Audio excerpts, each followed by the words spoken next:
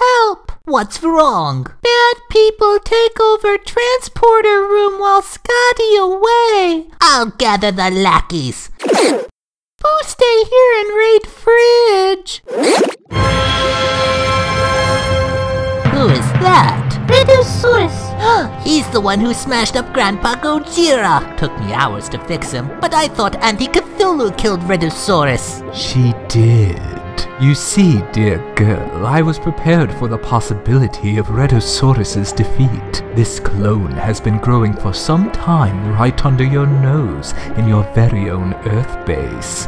After the Shobijin freed me from prison, I brought him here so I could use the Transporter's Soul Reattacher to search the realms of the departed and revive Rhedosaurus. Psychic inhibitors activate.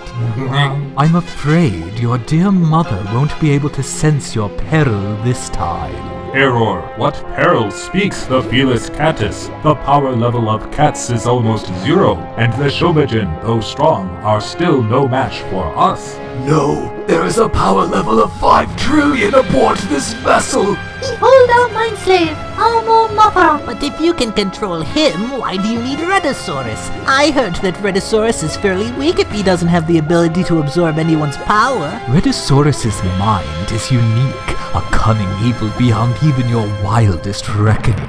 He will be the brains, and Armor Mothra shall be the brawn. Awaiting orders. Destroy all lackeys. Oh crap. I Obey!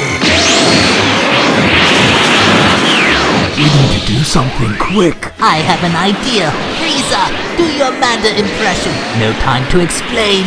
Oh, everybody look at me. I'm Manda.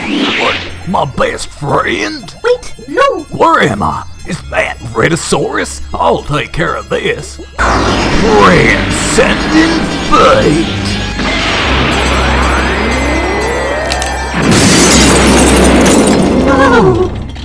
Well, hopefully that'll fix everything. How can we ever thank you? You saved our lives. No need to thank me. I should be thanking you. You saved me from doing a heap of evil. Well, gotta split. Well, what now? Hmm, who wants to play Scrabble? Count me in.